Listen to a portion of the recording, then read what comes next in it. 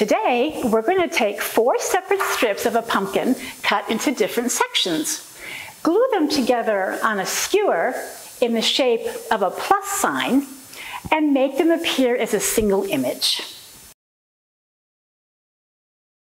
Start by downloading the pumpkin template provided. I used white cardstock, but it works just as well on regular copy paper. Cut out each of the four sections. Fold these top two sections in half and glue the back of them together. Don't use too much glue, especially around the edges. You don't want it oozing out.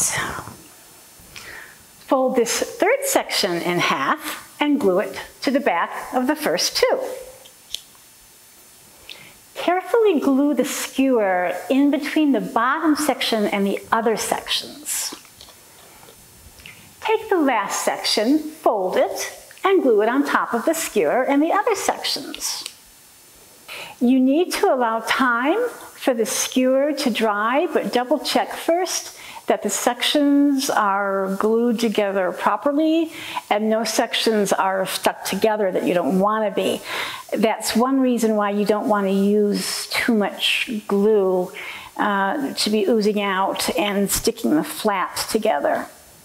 So I'm just double checking that, okay, that's not stuck to the other flap and that's not stuck. And put it aside and let it dry.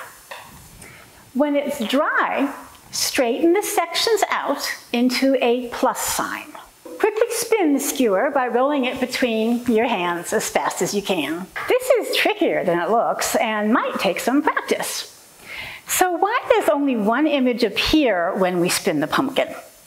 It has to do with how slow our eyes work in relation to how fast our brain works. In science, this is called persistence of vision.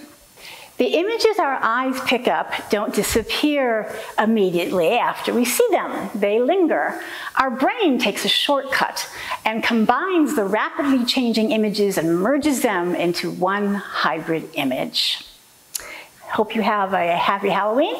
Thank you.